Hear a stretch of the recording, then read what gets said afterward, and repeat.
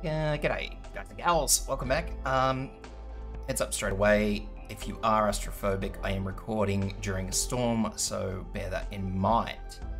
That said, moving on. Haze is next up. This is the map, and we're going to go in with her second skill, Crimson Eyes.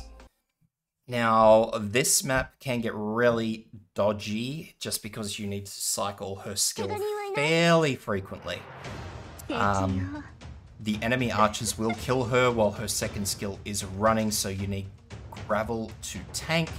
And you'll also have Suzuran with skill 2, not that that really matters. Because, like I said, for most intents and purposes, the yeah, intents and purposes, they will one-shot Haze anyway. So we're going to deploy Haze here facing up. It's really the only place we can sort of deploy her. And these are the enemy snipers I am uh, talking about. And they, as I said, they will pretty much one-shot Haze, given the chance. So what we're going to do is we're going to wait for Haze's skill to cycle through, and then we're going to deploy Gravel in first, and then use Haze's skill.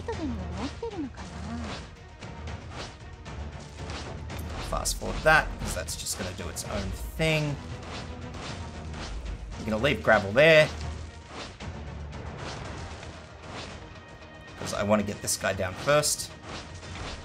Gravel will probably get very close to dying, but I want to make sure that this guy goes down without shooting Haze. Mm-hmm. So that's about it. Haze's skill is expired, so I don't need to worry too much.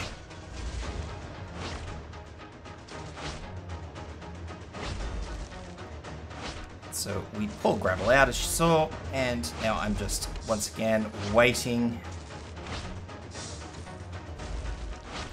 Always deploy Gravel in, obviously, in facing, so if anything walks past her, she can assist with it. Haze's skill as soon as it's ready because you'll need it to. and as I said, we're going to leave gravel in the whole damn time because we have to. We don't have a choice.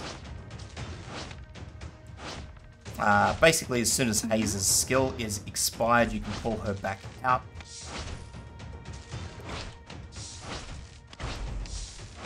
And once again, we're going to do the same thing. Now, this big tanky guy is not actually as tough as he looks. I thought I was going to be in for a hell of a lot of strife, but uh, things didn't actually go too bad for me. The between this uh, the coils and haze, he actually didn't really cause me too much drama, or as much drama as I thought he would, I should say. So he went down quite quickly. The coils, for some reason, ripped him to pieces just leaving gravel in, and there we go.